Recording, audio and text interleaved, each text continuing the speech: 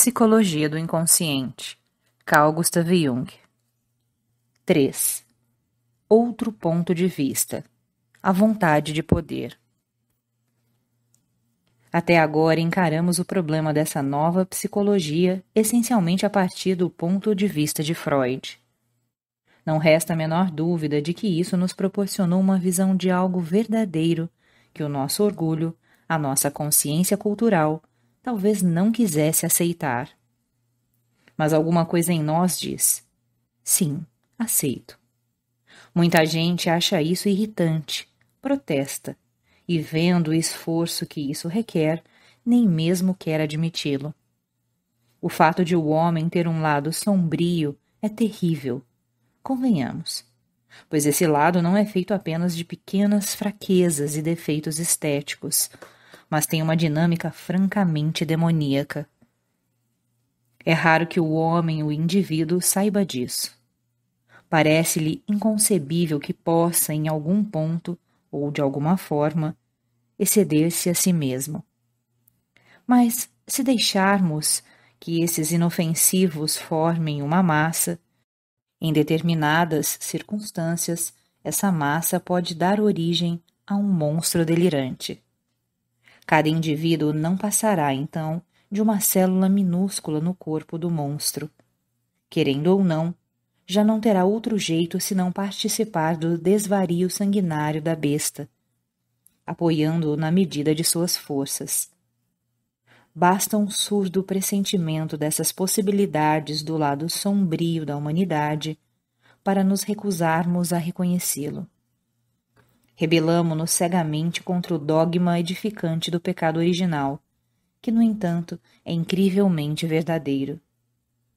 Sim, hesitamos até em reconhecer o conflito, que, no entanto, se manifesta tão dolorosamente. É compreensível que uma orientação psicológica que insista no lado sombrio não seja bem-vinda e até nos amedronte, pois nos obriga a um confronto com um problema insondável.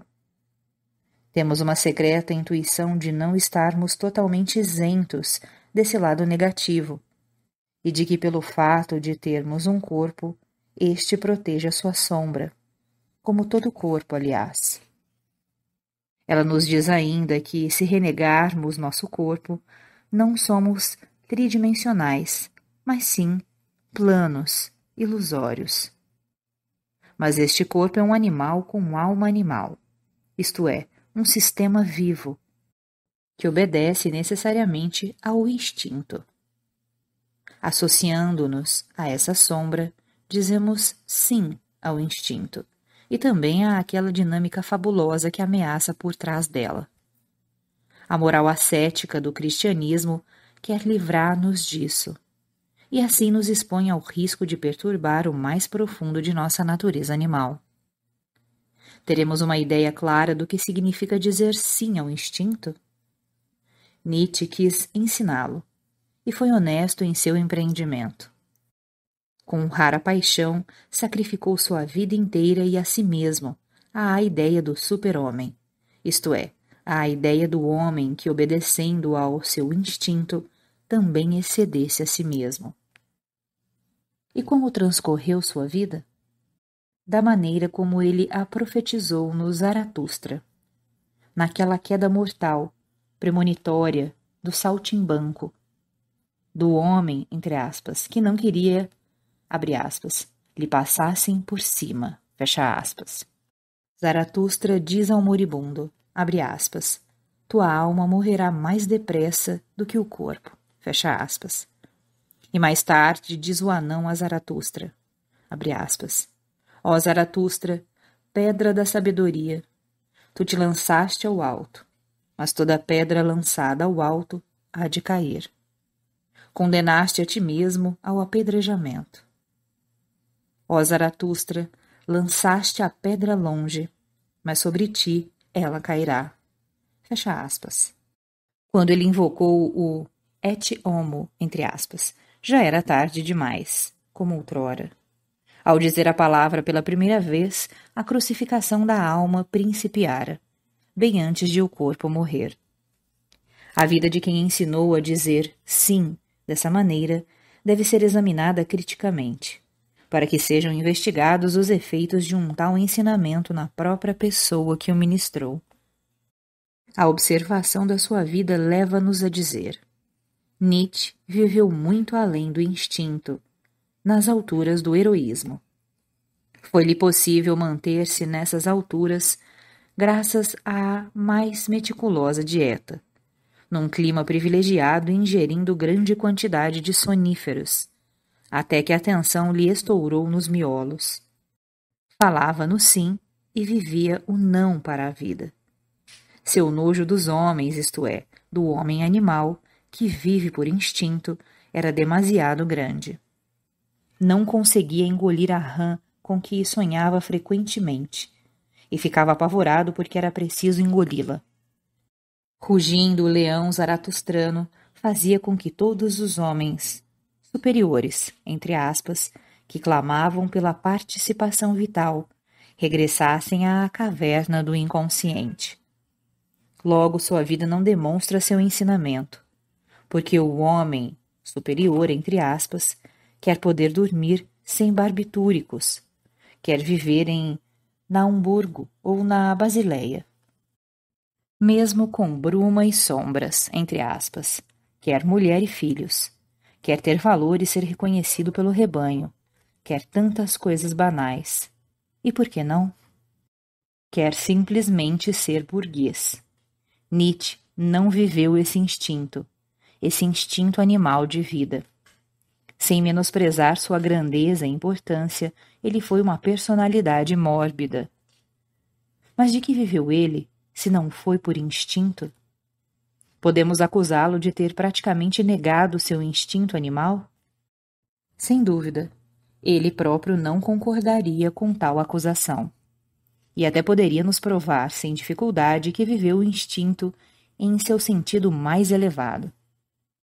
Como é possível, perguntamo-nos surpresos, que a natureza instintiva do homem o tenha justamente afastado do convívio dos homens, relegando-o ao mais absoluto isolamento, defendido pelo nojo do contato com o rebanho? Então o instinto não junta, não copula, não gera, não busca o prazer e a vida gostosa, a satisfação de todos os desejos sensuais? Mas nós nos esquecemos por completo de que este é apenas um dos rumos possíveis do instinto. Não existe unicamente o instinto de conservação da espécie existe também o de autoconservação. É sem dúvida deste último instinto que Nietzsche nos fala, isto é, a vontade de poder. Para ele, tudo que existe de instintivo é decorrência da vontade de poder. Considerado do ponto de vista da psicologia sexual de Freud, isto é um erro.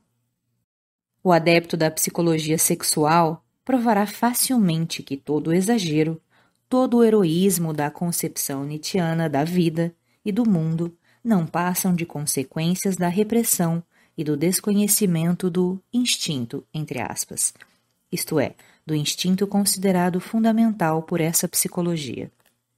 No caso de Nietzsche, mostra, por um lado, as consequências da unilateralidade neurótica e, por outro, os perigos que se corre quando se faz abstração do cristianismo Incontestavelmente, Nietzsche sentiu em toda a sua profundidade a renegação cristã da natureza animal e buscou uma totalidade humana mais elevada, que superasse o bem e o mal.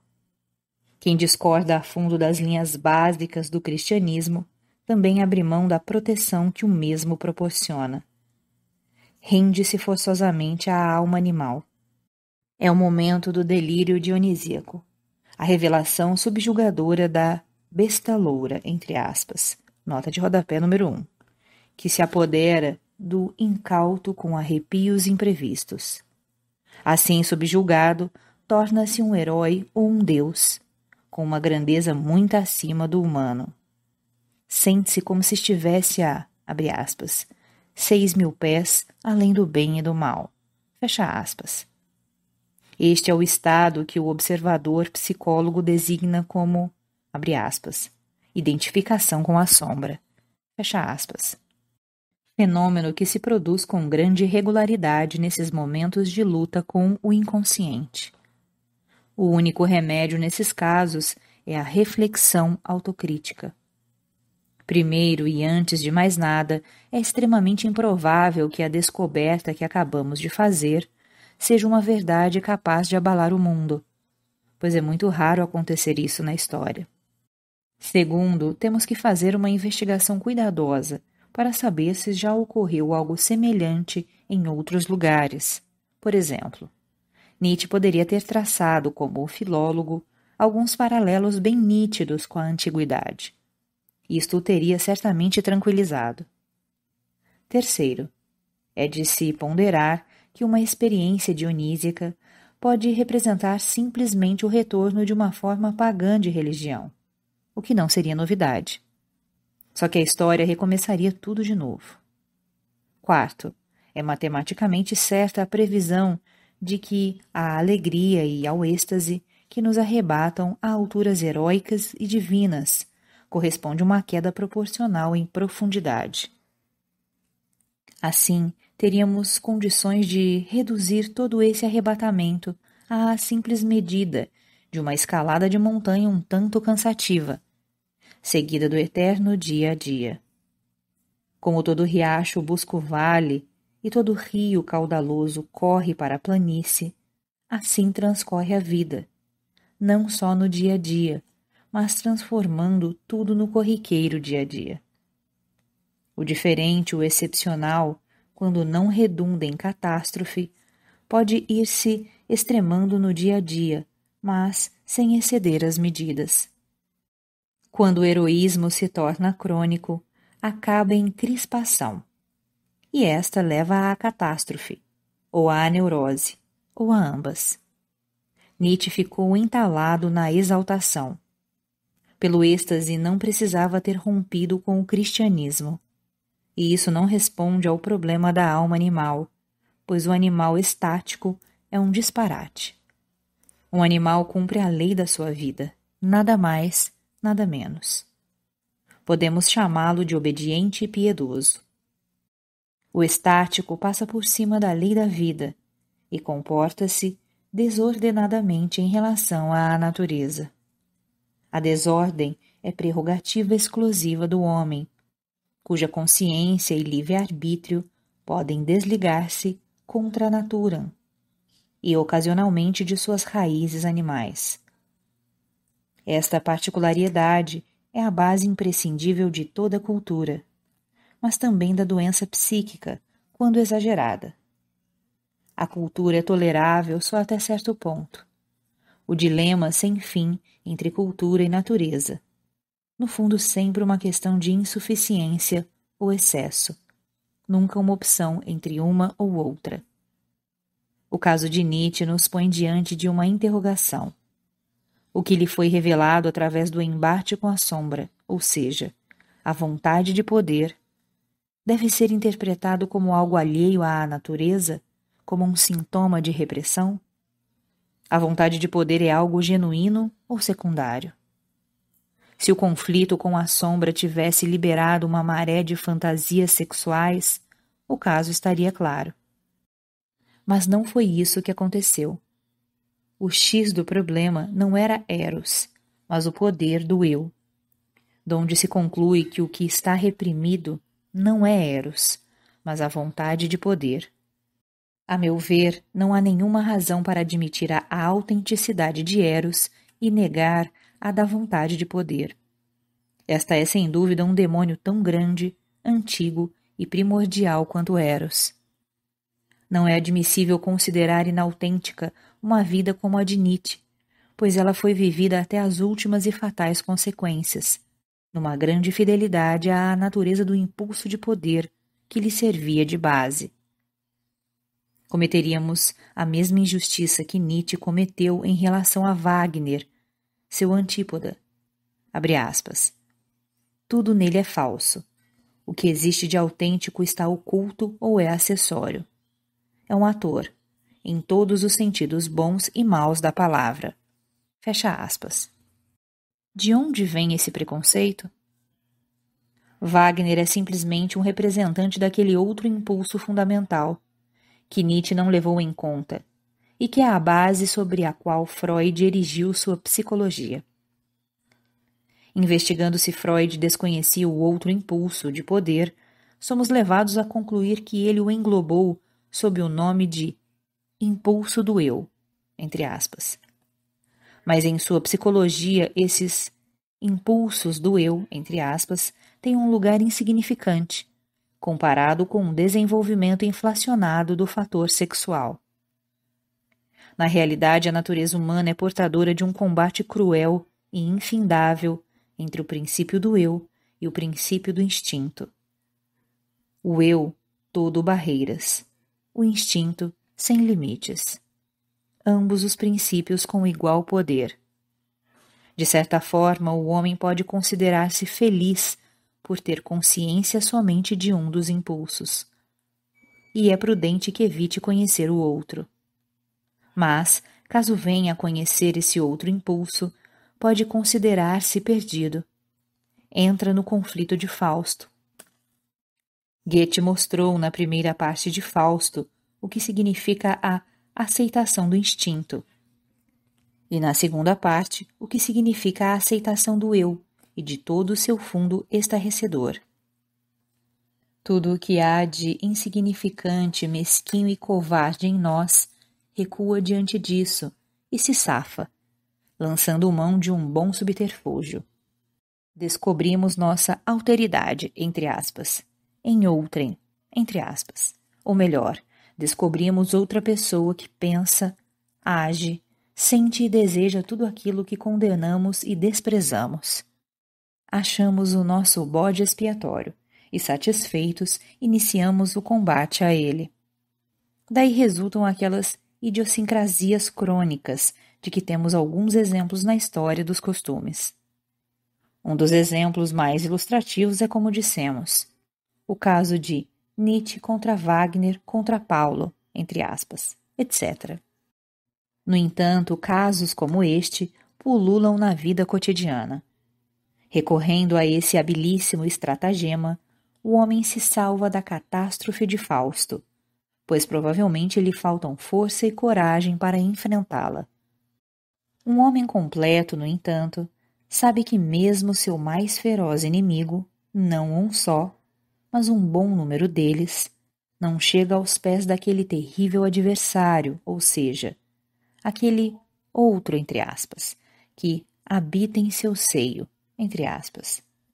Nietzsche tinha Wagner dentro de si. Por isso invejou-lhe o Parsifal. E pior ainda, o próprio Saulo também tinha Paulo dentro de si. Por isso Nietzsche tornou-se um estigmatizado do espírito. Precisava experimentar a cristificação, entre aspas. Como Saulo, quando a alteridade, entre aspas, lhe inspirou o et homo, entre aspas. Quem desmoronou ao pé da cruz, entre aspas, Wagner ou Nietzsche. Quis o destino que um dos primeiros discípulos de Freud, Alfred Adler, nota de rodapé número 2, estabelecesse um conceito de essência da neurose baseado exclusivamente no princípio do poder. É interessantíssimo e particularmente estimulante ver como as coisas vistas sob enfoques opostos têm um aspecto inteiramente diverso. Antecipando a principal contradição, quero mencionar de início que, para Freud, tudo é efeito estritamente causal de fatos anteriores, e para Adler, ao contrário, tudo é manobra condicionada pelo fim. Vejamos um exemplo bem simples. Uma jovem senhora é acometida por acessos de medo. Durante a noite, acorda de um pesadelo com um grito dilacerante. Depois, mal consegue acalmar-se. Agarra-se ao marido, fazendo-o jurar que nunca a abandonará. Repetir constantemente que a ama, etc. Pouco a pouco, seu estado evolui para uma asma nervosa. Passa a ter acessos mesmo durante o dia. Num caso desses, a prática freudiana entranha-se imediatamente na causalidade interna do quadro patológico. Quais conteúdos dos primeiros sonhos de pavor? Touros selvagens, leões, tigres, homens maus a atacavam. Quais as associações da paciente? O seguinte episódio ocorreu quando ainda era solteira. Foi numa estação termal nas montanhas. Jogava-se muito tênis. Como costuma acontecer, travam-se novos conhecimentos. Encontrou um italiano, jovem, exímio tenista, que à noite costumava tocar violão. Começaram um flerte inocente, que os levou a passear ao luar. O temperamento italiano irrompeu inesperadamente, entre aspas, nessa hora. Para grande susto da moça inexperiente. Ele a olhava de um jeito, entre aspas, que nunca mais pôde esquecer. Esse olhar continua perseguindo-a até nos sonhos. Mesmo os animais selvagens que a perseguem olham-na desse jeito. Será que o italiano foi mesmo o primeiro a olhá-la assim? Outra reminiscência esclarece-nos a esse respeito. Aos 14 anos, a paciente perdera o pai num acidente. Este era um homem mundano e viajava muito. Pouco antes de sua morte, levara-a consigo a Paris, onde estiveram, entre outros lugares, no Folie Bergère. À saída do teatro, houve uma cena que na hora não a impressionou muito. Subitamente, uma mulher muito maquiada foi se encostando no pai com incrível atrevimento. Olhou assustada para ele, querendo ver o que ia fazer. E viu exatamente aquele olhar, aquele fogo animal nos olhos. Algo inexplicável passou a persegui-la dia e noite. A partir desse momento, seu relacionamento com o pai modificou-se. Ora irritadiça, agredia-o. Ora o amava perdidamente tinha crises de choro sem motivo. Quando seu pai comia em casa, engasgava com muita facilidade à mesa, e esses acessos terminavam com sufocações que, em geral, a deixavam um a dois dias sem voz. Isso durante algum tempo. Ao receber a notícia da morte do pai, foi acometida de uma dor estranha, que culminava em crises histéricas de riso mas pouco tempo depois acalmou-se e seu estado ia melhorando rapidamente. Os sintomas neuróticos desapareceram quase por completo. Uma névoa de esquecimento pousou sobre o passado. O incidente com o italiano era o único que ainda remexia coisas que a amedrontavam. Naquela ocasião, separara-se bruscamente do rapaz. Casou-se alguns anos depois. Só depois do segundo filho é que começou a neurose. Isto é, no momento em que descobriu no marido um interesse carinhoso por outra mulher. Nessa história há muito a perguntar. Por exemplo, onde fica a mãe nisso tudo? O que se sabe é que a mãe era muito nervosa e tinha passado por todos os sanatórios e tratamentos possíveis e imagináveis. Também sofria de asma nervosa e de sintomas de medo. Pelo que a paciente se lembrava, o casal vivera muito distante um do outro. A mãe não compreendia o pai. A paciente tinha sempre a impressão de compreendê-lo bem melhor. Era nitidamente a preferida do pai. Em contrapartida, sentia bastante frieza em relação à mãe. Essas indicações deveriam ser suficientes para se ter uma ideia da evolução da doença. Por trás dos sintomas apresentados estão as fantasias que, à primeira vista, se associam ao episódio do italiano, mas que, no mais, se referem claramente ao pai. Este, devido ao casamento infeliz, deu prematuramente à filha o ensejo de conquistar um lugar que normalmente deveria ter sido preenchido pela mãe. Atrás dessa conquista esconde-se evidentemente a fantasia de ser a mulher ideal para o pai. Os primeiros sintomas da neurose aparecem no momento em que a fantasia sofreu um forte abalo. Provavelmente o mesmo abalo sofrido pela mãe, mas ignorado pela filha. É fácil compreender os sintomas como expressão de amor frustrado e rejeitado. O engasgamento vem daquela sensação de aperto na garganta, conhecido fenômeno que em geral acompanha as aflições intensas, aquelas que não conseguimos engolir, entre aspas, totalmente. Como é sabido, as metáforas de linguagem referem-se frequentemente a fatos fisiológicos desse tipo. Por ocasião da morte do pai, seu consciente ficou muito triste, mas sua sombra ria. Exatamente como Till Aulenspiegel, que se aborrecia quando o caminho levava monte abaixo, mas se animava todo na subida, por mais íngreme que fosse, sempre na expectativa do que estava por acontecer. Quando o pai estava em casa, sentia-se aborrecida e doente. Cada vez que ele viajava, sentia-se melhor, tal como acontece aos incontáveis esposos e esposas que ainda guardam bem guardado o doce segredo de que já não são mais tão indispensáveis um ao outro. Prova de que o inconsciente tinha certa razão de estar risonho foi o período de plena saúde que veio logo após. Conseguiu fazer com que todo o seu passado submergisse. Só o episódio do italiano ameaçava trazer à tona o seu mundo abismal. Mas num gesto rápido, bateu à porta, mantendo sua saúde em bom estado. Até que o dragão da neurose chegou sorrateiramente, quando ela se considerava fora de perigo naquele estado, por assim dizer, de plenitude, de esposa e mãe. A psicologia sexual diz que a origem da neurose está no fato de, no fundo, a doente ainda não estar desligada do pai.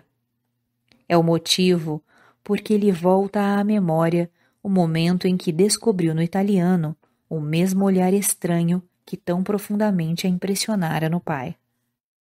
Essas lembranças foram reavivadas quando de uma experiência análoga com o marido, constituindo o estopim da neurose. Por isso se poderia dizer que o conteúdo, o motivo da neurose é o conflito entre a fantasia da relação erótico-infantil com o pai e o amor do esposo. No entanto, se observarmos o mesmo quadro patológico do ponto de vista do outro, entre aspas, impulso, isto é, o impulso da vontade de poder, a coisa muda completamente de figura. A precariedade da situação conjugal dos pais era uma excelente oportunidade para o instinto de poder infantil. Ora, o impulso de poder exige que eu fique por cima, entre aspas, isto é, domine de qualquer maneira. A integridade da personalidade, entre aspas, tem que ser preservada custe o que custar. Toda e qualquer tentativa do meio no sentido de obter uma submissão do sujeito, por mais tênue que seja, é respondida por um protesto masculino, entre aspas, na expressão de Adler. A decepção da mãe e sua fuga para a neurose proporcionaram, portanto, uma oportunidade única para o desdobramento do poder e para que ela ficasse por cima. O amor e o comportamento irrepreensível são armas extremamente adequadas para se alcançar a meta, do ponto de vista do impulso de poder. A virtude, não raro, serve para forçar o reconhecimento dos outros. Desde criança, ela soube angariar os favores do pai, por um comportamento particularmente solícito e afável, e colocar a mãe a seus pés. Não foi por amor ao pai. O amor só foi usado como meio de se impor. O acesso de riso que teve quando o pai morreu é uma prova eloquente do que acabamos de dizer. Tendemos a repelir esse tipo de explicação por acharmos que desvirtua o amor, ou por considerá-la uma insinuação de má fé. Mas convenhamos, reflitamos um pouco e olhemos o mundo tal como é. Então nunca vimos as incontáveis pessoas que amam e acreditam no seu amor só enquanto não atingiram o seu objetivo, e lhe depois lhe viram as costas como se nunca tivesse amado? E afinal, será que a natureza também não age assim? Será que pode existir um amor sem finalidade? Se existir um amor assim, pertencerá às mais altas virtudes, e essas são fatalmente bem raras. Além disso, talvez seja uma tendência nossa não pensar muito na finalidade do amor, porque se o fizéssemos, poderíamos descobrir coisas que lançariam uma luz não muito lisonjeira sobre o nosso amor e seu valor. Recapitulemos. A paciente teve um ataque de riso quando o pai morreu. Logo estava definitivamente por cima. Tratava-se de um riso histérico, sintoma psicógeno, produzido por motivos inconscientes e não pelo eu consciente. Não devemos subestimar esta diferença, que permite ver igualmente onde e como se criam certas virtudes humanas. A contrapartida delas foi para o inferno, ou em palavras mais atuais, para o inconsciente, onde há muito se acumulam os opostos das nossas virtudes conscientes. Assim, por pura virtude, nada queremos saber do inconsciente. Aliás, o cúmulo da prudência virtuosa é afirmar que o inconsciente não existe. Mas, infelizmente, acontece conosco o mesmo que com o irmão Medardo no Elixir do Diabo, de Hoffman. Temos em algum lugar um irmão tenebroso e pavoroso, ou seja, o nosso contrário em pessoa, ligado a nós pelo sangue, que conserva tudo e maldosamente armazena o que gostaríamos que desaparecesse da nossa frente. A nossa paciente teve o primeiro surto de neurose no momento em que percebeu que havia algo no pai que lhe escapava o controle. Fez-se uma grande luz. De repente viu para que servia a neurose da mãe. Quando topamos com algo que não conseguimos submeter pela razão ou pelo charme, existe um mecanismo, até então desconhecido para ela, e que a mãe já havia descoberto: a neurose. Donde a imitação da neurose da mãe? Pois é, mas para que serve a neurose? perguntaremos admirados. Qual a sua finalidade? Alguém que já conviveu com uma pessoa declaradamente neurótica sabe perfeitamente bem quanto se consegue, entre aspas, através da neurose não há meio mais eficaz de tiranizar toda a casa. O efeito obtido por problemas de coração, acessos de asfixia, convulsões de todo tipo é enorme e quase infalível. Desencadeia ondas de compaixão, ansiedades sublimes dos pais sinceramente preocupados, um corre-corre de criados, telefonemas, médicos chamados com urgência diagnósticos difíceis, exames minuciosos, despesas consideráveis. E no meio de toda essa agitação, o inocente sofredor, a quem se agradece calorosamente quando cessam os espasmos, entre aspas. A menina descobriu essa manobra, entre aspas, infalível, para empregar o termo adleriano, e passou a empregá-la com êxito cada vez que o pai estava por perto. Quando o pai morreu, pôde dispensá-la, pois estava definitivamente por cima. O italiano foi descartado imediatamente, quando quis acentuar a feminilidade dela através da oportuna satisfação de sua masculinidade. Depois surgiu a proposta de um casamento conveniente. Amou e conformou-se, sem queixas, ao papel de esposa e mãe. Enquanto se impunha e era admirada, tudo correu às mil maravilhas. Mas assim que o marido demonstrou um ligeiro interesse extraconjugal, teve que recorrer de novo àquela antiga manobra, entre aspas, eficientíssima, isto é, ao uso indireto da violência. Deparara de novo, dessa vez no marido, com aquilo que no pai já lhe fugira ao controle. Do ponto de vista da psicologia do poder, a coisa é vista dessa forma. Temo que o leitor possa vir a ter uma reação semelhante à daquele Cade, que, ouvindo um procurador de uma das partes, disse: Abre aspas. Falaste bem. Vejo que tens razão. Fecha aspas. Depois falou o procurador da outra parte.